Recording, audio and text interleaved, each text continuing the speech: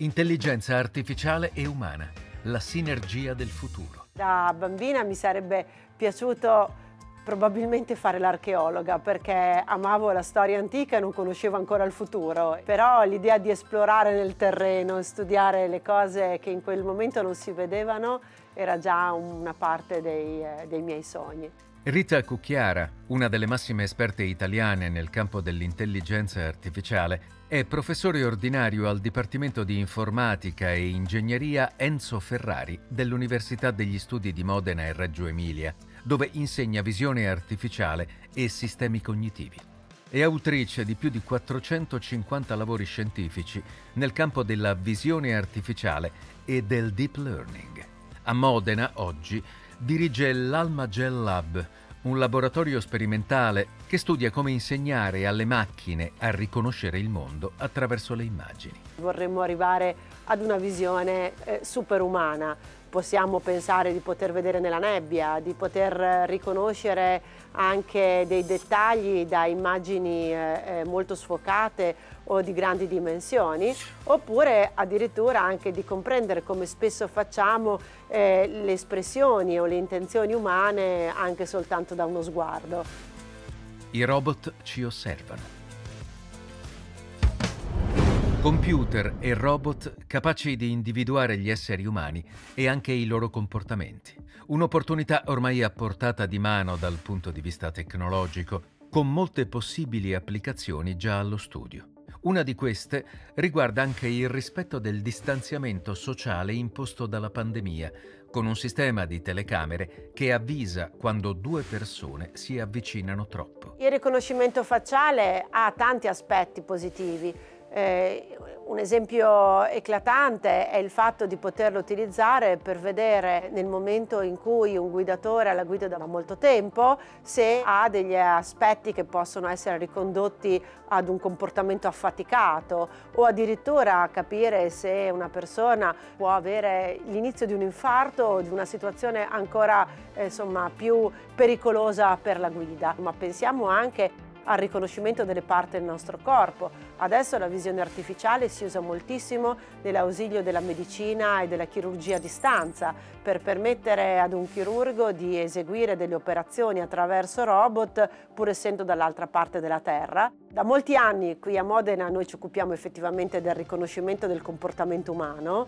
che passa attraverso l'analisi di video e quindi non tanto del riconoscimento di chi è una persona ma di che cosa sta facendo. E ultimamente all'inizio della pandemia ci siamo chiesti se questo tipo di, eh, di software che noi stavamo sviluppando poteva essere utile per qualcosa e abbiamo sviluppato una tecnologia che si chiama Interhomines capace di misurare in tempo reale le distanze tra gli uomini e quindi capire effettivamente se le persone si trovano a una distanza di sicurezza che può essere considerata a rischio o meno per un problema di pandemia. Una questione di privacy. Il riconoscimento da parte delle macchine solleva dubbi legati alla privacy e gli scienziati lavorano perché la tecnologia sia al servizio della società senza invadere la sfera privata dei singoli individui. Credo che l'ottimismo debba essere basato sulla conoscenza e sulla tecnologia e penso che tante volte le paure invece nascano quasi sempre dalla disinformazione o dalla mancanza di informazioni dovuta al fatto che semplicemente non si può essere esperti di tutto. È ovvio che questi sistemi se non si conoscono potrebbero creare dei problemi di, di, gestione della privacy.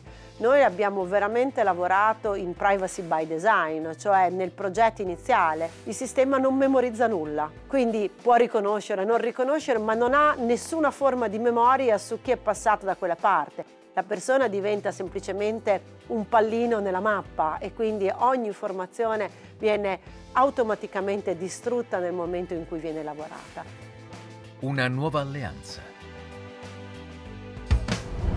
Quando i robot sapranno riconoscere con precisione gli esseri umani e i loro movimenti, la nostra interazione con queste macchine cambierà completamente, a cominciare dai luoghi di lavoro. Nel laboratorio della professoressa Cucchiara si lavora anche su questo. L'interazione uomo-robot nel mondo dell'industria fino adesso è sempre stato fatto eh, in modo da evitare qualsiasi forma di collaborazione tra essere umano, collaborazione fisica, sto dicendo, tra essere umano e robot. Ecco, in questo caso i sistemi devono essere in grado di vedere e di prevedere il nostro comportamento per non essere calpestati da una parte, ma anche per non creare dei danni alle persone.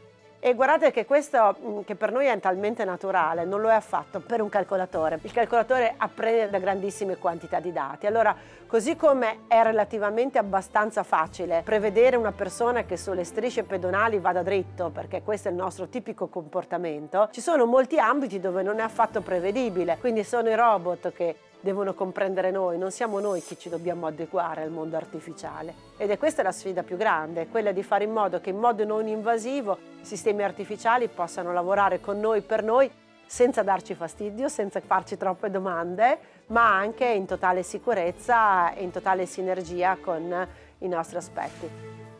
Cos'è l'intelligenza artificiale? Spesso sotto la categoria intelligenza artificiale vengono incluse tecnologie e servizi molto diversi. Come orientarsi? Per Rita Cucchiara non ci sono dubbi su cosa è intelligenza artificiale e su cosa non lo è. La definizione della comunità europea di intelligenza artificiale è quella di sistemi che sono in grado di analizzare il mondo dal, dall'esterno, di avere un comportamento intelligente e di intraprendere azioni eh, per problemi specifici e con un certo grado di autonomia. Tante volte ehm, si confonde l'intelligenza artificiale con il machine learning. Eh, effettivamente è anche giusto confonderlo in qualche modo perché ora quello che si chiama machine learning, cioè apprendimento automatico, è la categoria più importante dell'intelligenza artificiale. Ho fatto un esempio molto pratico di machine learning eh, prendendo ispirazione al fatto che ho ancora la fortuna di incontrare mia madre tutte le domeniche e che tutte le domeniche ci prepara la crema pasticcera. Come tutte le cose fatte a mano non c'è una ricetta precisa e quindi ogni domenica la ricetta viene in un modo diverso e viene sempre meglio per approssimazioni successive. Mia madre inizia a mettere un po' di farina, un po' di zucchero, un po' di eh, un po' di latte eh, in base alla sua esperienza, ascolta i giudizi di mio figlio e di mia figlia e cerca in qualche modo di adeguarsi. In realtà gli viene sempre abbastanza soda, però siamo sempre tutti molto felici di questo. E questo è un apprendimento che noi facciamo volta per volta, cioè in base ai dati, in base all'esperienza e soprattutto in base al feedback che ci ritorna dall'esterno e questo in, dal punto di vista tecnico lo chiameremmo reinforcement learning, cioè l'apprendimento con rinforzo, mio figlio che sorride che applaude o che invece chiede alla nonna di rifarlo e così come avviene appunto per noi che apprendiamo dai dati, dall'esperienza e dal feedback, così i calcolatori sono in grado di lavorare nello stesso modo. Nel bene e nel male. Il mondo digitale e l'intelligenza artificiale rappresentano straordinarie occasioni di crescita culturale ed economica, ma pongono nuovi problemi. Così come il riconoscimento facciale, se utilizzato in maniera distorta, può mettere a rischio la privacy dei cittadini, la grande diffusione dei social network sembra aver favorito il propagarsi di fake news e di operazioni di vera e propria disinformazione. Gli algoritmi di intelligenza artificiale possono essere utilizzati nel bene e nel male. È chiaro che se si prediligono i contatti tra persone che fomentano l'odio, fomentano la disinformazione, questo naturalmente creerà più like, creerà più interazioni tra le persone, ma può anche avere degli effetti distopici sul nostro modo di pensare. Viceversa però le stesse tecnologie possono essere utilizzate anche a fin di bene o possono essere utilizzate per smascherare gli stessi deepfake. È guardare e trovare le similarità dei video anche se non sono esattamente identici. Pensate ai 300.000 persone che sono venuti tanti anni fa a vedere Vasco Rossi qua a Modena e che hanno preso gli stessi video delle stesse canzoni da punti di vista diversi. Bene, questo tipo di tecnologie possono servire anche per vedere, per riconoscere le similarità tra video pericolosi, come potrebbero essere dei video pedopornografici oppure dei video di terroristi. Come proteggere i nostri dati? Un altro tema di grande attualità è il controllo dei nostri dati personali. I colossi del web li accumulano, fornendoci in cambio servizi apparentemente gratuiti. Ma, dicono gli esperti, i dati sono il nuovo oro e chi li detiene ha il vero potere di questa era digitale. Ancora più dei dati io penso che il vero detentore del potere è chi conosce adesso le tecnologie per poterli analizzare. Non tutti sono possessori dei propri dati. Per quel che riguarda i dati sociali ormai ci abbiamo rinunciato perché i dati sociali li abbiamo regalati altrove, però noi siamo ancora possessori di molti dei nostri dati perché sappiamo che abbiamo i dati del nostro territorio, i dati della nostra produzione industriale, i dati della nostra salute, i nostri dati finanziari che non sono ancora stati regalati altrove e quindi questi sono dei dati che dobbiamo mantenere di nostra proprietà. Il problema dei big data è un problema importante, ma ancora più importante è che questi dati messi in grande server da soli non possono essere elaborati, non servono a niente se non si hanno le tecnologie per elaborarle. Sarà ancora più urgente oggi e nel prossimo futuro